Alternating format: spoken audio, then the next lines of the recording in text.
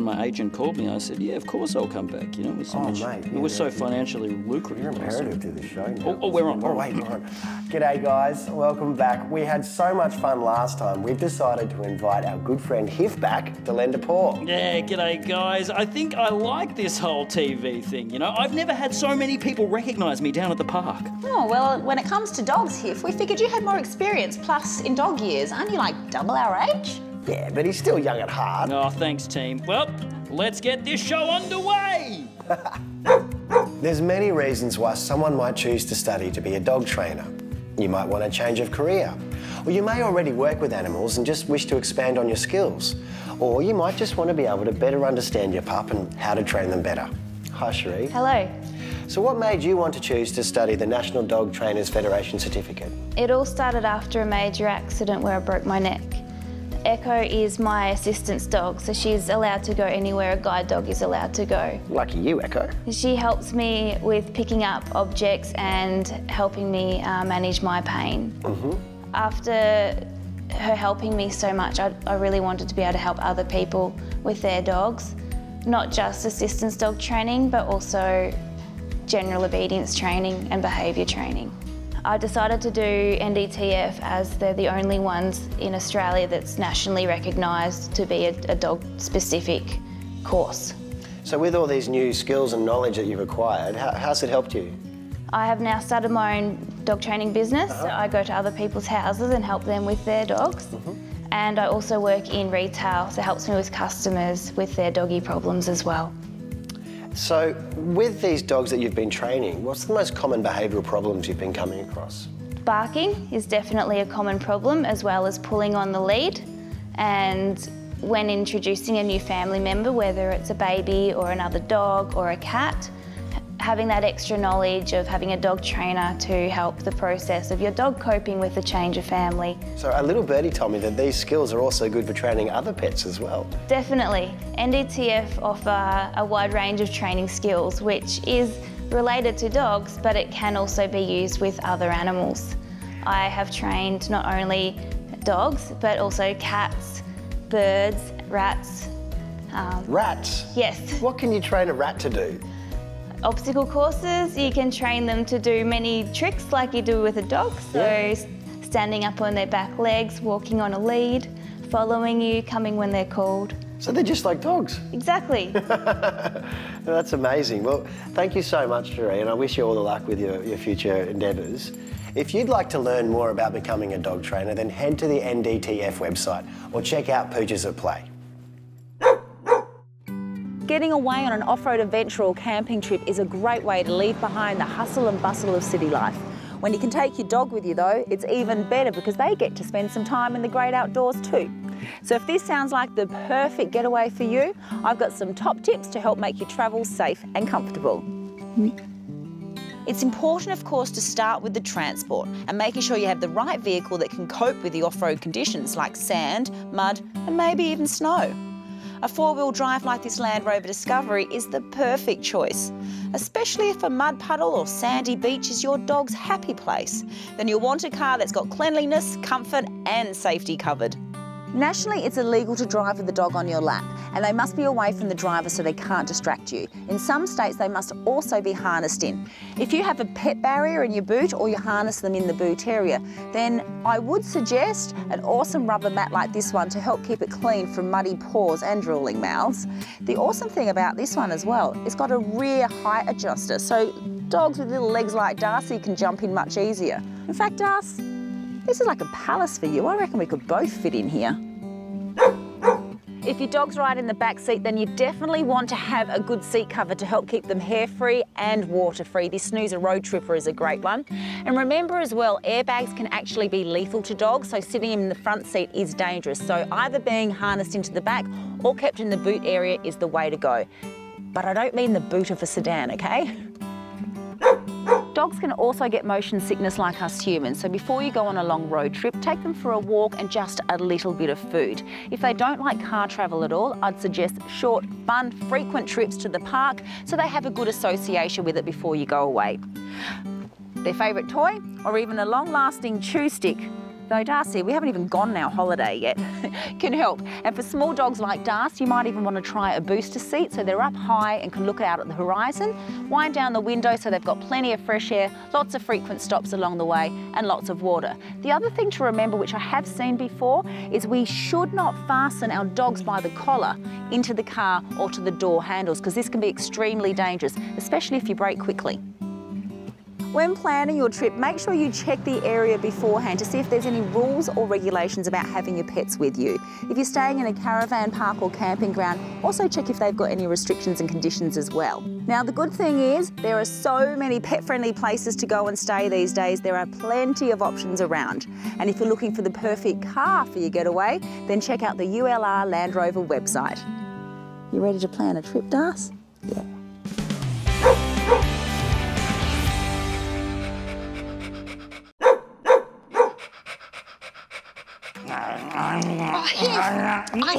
I told you about the risks of chewing on sticks. Oh, sorry, Dr. Mel, I just can't help it. Sticks are just so much fun to chase and chew on. Oh, I know, but sometimes you just can't do everything that you want to do. Hmm. You would be surprised at the number of stick injuries that I've seen at the clinic. I mean, just last week, there was a dog that came in with a splinter that big oh. embedded in its throat. Oh, ouch! You know, you're right. That reminds me of when I was a puppy and I tried to catch a stick mid-air. I ended up with a nasty cut in my mouth and that hurt a lot. I had to go to the vet and have surgery to fix it.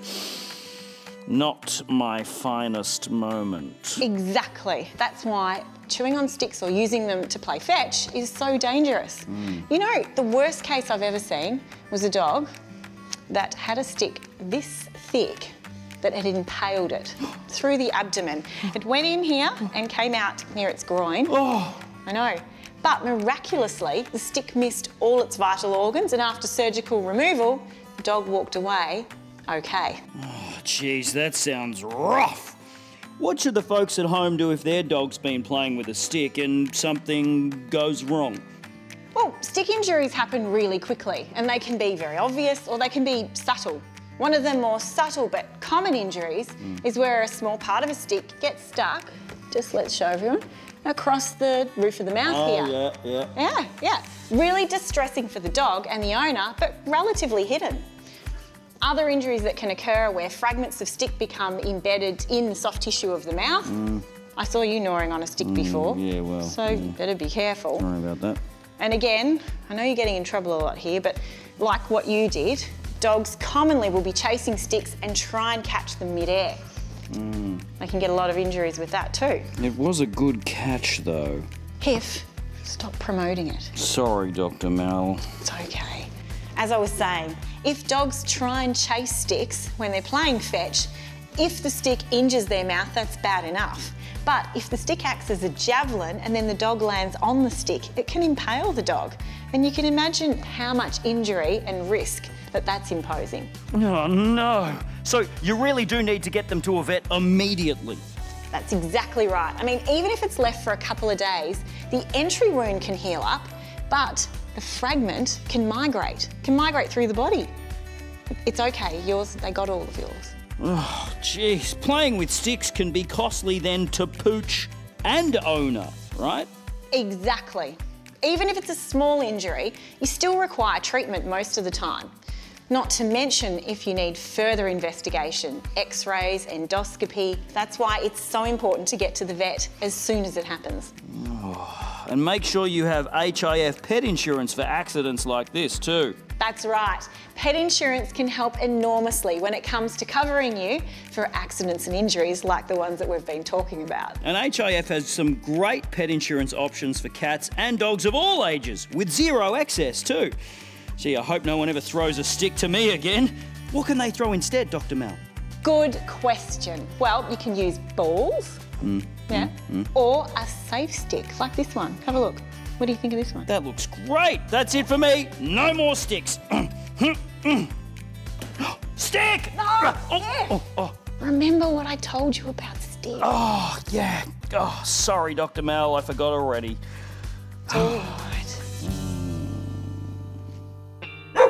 you'd like to check out all the antics with Pooches at Play, then check out our social media. We're on Instagram, Facebook, and Twitter. Or if you'd like to learn more about how to look after your pooch, keep it healthy and happy, then check out our website for special articles. We've got training, grooming, some pet friendly travel, Toys and accessories that your dog will love and more. and you can even sign up to our e newsletter to get special member only offers. Jump on poochesatplay.com.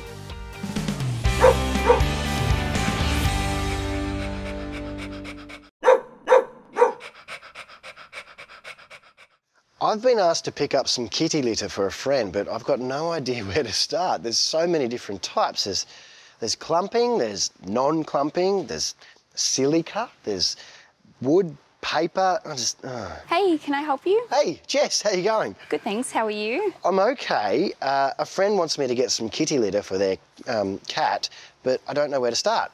Do you know what the cat prefers? Uh, no, I haven't spoken to it personally.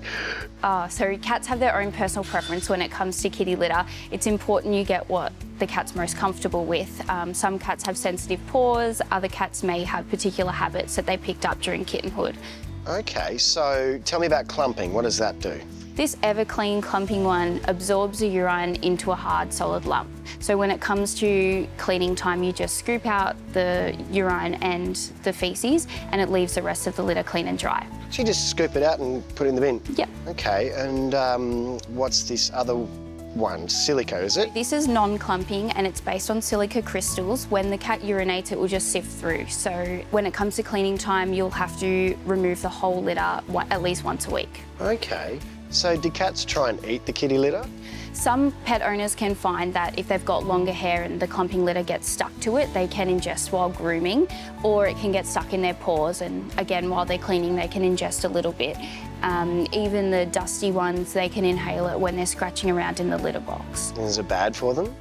Um, generally speaking, cat litter is non-toxic to cats, but if they do ingest a considerable amount, I would suggest to see a vet. Okay, um, what about the smell? So some kitty litters can tend to smell. It's important that you get one that odour absorbs rather than masking the odour with like a floral scent or something. Cats have a really sensitive sense of smell, so they will notice if the kitty litter's dirty before you will. And if you're trying to mask it, they might reject it altogether. Now, what if I've got more than one cat? Do I need more than one tray? Ideally, yes, if you've got a multi-cat household, you will have one tray per cat and an extra one. Great. Well, I think I'm going to need to speak to the cat's owner and get some more info, or maybe the cat itself. Yep. But I'll let you get back to what you were doing. Well, we're all here to help. Thanks, Jess. Looks like someone needs a bit more help, that's for sure. For discerning pet owners, it has become increasingly difficult to know what establishments openly welcome our furry companions. If you're planning a holiday and want to take your pet along for the ride, then head to takeyourpet.com.au. Take Your Pet provides animal owners with a simple, easy to navigate solution to searching, finding, and choosing the next adventure with their four legged friends. With over 12,000 pet friendly businesses on their database, you're spoilt for choice and will easily be able to find the best pet friendly establishments for your needs. From accommodation listings and restaurants to things to do and see, Take Your Pet is a leading online destination for all things pet friendly travel in Australia. Henty Bay Beachfront Holiday Park offers a spacious beachfront location just five minutes along the coast from Portland, the western gateway of the Great Ocean Road. Set on 10 acres of beach frontage, accommodation options range from luxury self-contained villas and classic cabins to powered and unpowered campsites. There's ample parking for caravans and boats, plus refurbished dorm-style accommodation that's perfect for groups. While visiting Portland, there's loads of natural wonders to enjoy, including whale watching, a petrified forest, amazing fishing and diving, plus spectacular hikes. For more pet-friendly accommodation ideas, visit the Take Your Pet website. We often forget that our cats, just like our dogs, need plenty of mental and physical stimulation whilst they're left alone all day. So, a great tip to keep them busy and active is to give them interactive toys filled with treats so they can keep their brains working and also keep their bodies working. In fact, cats can get a version of Alzheimer's just like us humans do, so it's really important that we do make sure we keep their brains going. Another tip to keep them mentally stimulated as well is you could put a bird feeder outside the window if they're an inside cat, gives them something to look at and also keeps them interested, of course, too. And remember, overweight cats can tend to avoid exercise. So to keep them moving and for problem solving, put their saucers up on their cat tree or even put them on top of the stairs so they have to climb up to get their food. If you'd like more information, visit poochesatplay.com.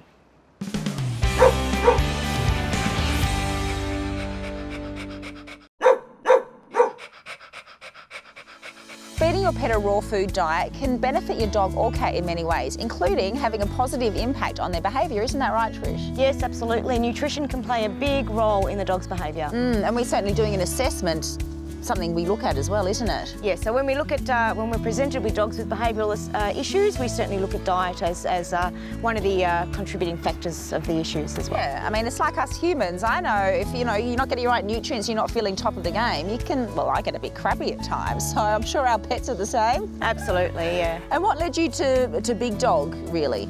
Yeah, so one of our previous dogs, Tasha, was diagnosed with a mast cell tumour. Um, and after her tail was amputated, we found out it came back as a level two uh, tumour, which the likelihood of spread was going to be high. So I wanted to make sure that I was giving her body the best chance um, of fighting, so we uh, switched her over to a raw food diet. Okay, and you did the same with Gabe then as well, who's 12 and a half. Absolutely. Doing yes. pretty well. Yes, yes. so what are some of the, the benefits, I guess, you've seen in Gabe? Uh, well, he's obviously great for his age, for 12 and a half. He's still very sprightly, still quite active. Um, he's got a great coat, um, you know, he's, he's, in good health. So absolutely, I've seen a big difference, even just in his demeanour as well. Um, And it's helped with his arthritis. And You were saying he's a bit more switched on too yeah, as well. absolutely. For a 12 and a half, he's certainly very switched on still. Yeah, nice. And so do you actually recommend Big Dog and raw food diets to your clients? Oh, for sure. I think what you put in is what you're going to get out. So if you put some good food in, uh, you're going to get, you know, obviously a better healthy dog and better performance dog too if you... That's right. It's the same with training, isn't it? What you put in, you get out. That's right. oh, good. Have you got any other behaviour tips relating to diet that you can give to the viewers at home? Yeah, definitely. I recommend feeding a species-specific diet, um, just centering around good meats, um, some leafy greens, and certainly some raw bones as well. Yeah, thank you. Well, if you'd like to find out where you can buy Big Dog Pet Foods, visit their website. Hey, Hey. very nice car seat cover you've got here, Lara. I know, and it's a lifesaver for my new leather seats. I can imagine all the hair that Darcy loses. He'll be saving a fortune on car cleaning bills. I know, and the great thing about the Snoozer Road Tripper is that it's hammock style, so I can secure it to the front and to the back so that he can't dart into the front seats and scratch them while I'm ready to harness him up. You've been foiled, Darcy. but how do you get to the seatbelts? Easy, just through here, so it's easy to harness him as well. Oh, yeah. What's this zip for? Ah, you like this one. So, because it's a full zip, I can just leave it on Darcy's side if someone else is sitting in the back seat. Well, that's a bit more civilised. you remember that time when Darcy and I had to sit in the back and ended up with hair all over my bum? Oh, it's a glamorous TV world we work in. Yes. What's this made of? It's really nice. Well, it's a nice, I know, this is a nice cosy fleece on one side, isn't it, Darth? Nice and warm. But on this, this is water resistant, so great for raining weather and also down at the beach. You can just chuck it in the wash. Seems a lot easier than the one I've got at home. Yeah, it is. It literally just goes in the washing machine. And the good thing, the fact it's a snoozer product, it's got a lifetime guarantee and a free repair service. Where do I get one from? Well, it's only $139.90 on their website, snoozer.com.au. Oh, and it comes in this as well to cut down on packaging, a calico bag, so I can put all of Darcy's doggy gear in here. that is awesome. you get it? Pour some. We got it the first time. Darcy liked it, didn't you, mate? Yeah. No, he likes all your jokes. You've got four paws. Come on, let's get you buckled in. This week's smart pet is Hugo the Cavoodle. Life really is a balancing act for this cute little guy. I don't know what's more impressive, his ability to resist the urge to eat the tasty treats, or Hugo's uncanny talent for balancing them on the tip of his nose. Sometimes he manages to keep a cool, or should I say, level head, despite having his favourite snacks stacked on top of the other right before his eyes. No matter how you look at it, he's one smart little guy and deserves a treat or two after that. Think your pet has the smarts to win our Smart Pets competition? Then make sure you get your entry in. One lucky viewer will receive a Pawsome prize pack valued at over two and a half grand, including a $500 PETstock gift voucher, a year's supply of pet food, a $500 HIF Wellbeing and Massage voucher for you, and $500 worth of Family Parks gift vouchers. There's also three $100 PETstock vouchers for runner-ups. To enter, just send us a video of your pet doing their amazing trick. The more unique and talented, the better. So be as smart as your pet and enter to win. Visit poochesatplay.com for more details. I just want to make sure that they get my good side. because, Mate, um, you are so handsome, it doesn't matter where they point the camera. Oh, thanks, mate. You're not too shabby yourself. Neither are you, Lara. Oh, thank you. It has been a lot of fun. It's, it's been really enjoyable. I reckon we should get the gang back together sometime. It's been awesome, and I learned quite a lot as well. Yeah, well, that's what the show's all about. It's fun, but full of facts. Mm. So make sure you check in next week. I will. I'll be on the couch, glued to the screen. Hey, you guys at home should make sure you're doing the same thing. And don't forget, in between, check out our website. We'll see you next time. Bye, everybody. oh, yep, yep, yep. Ah. Spot.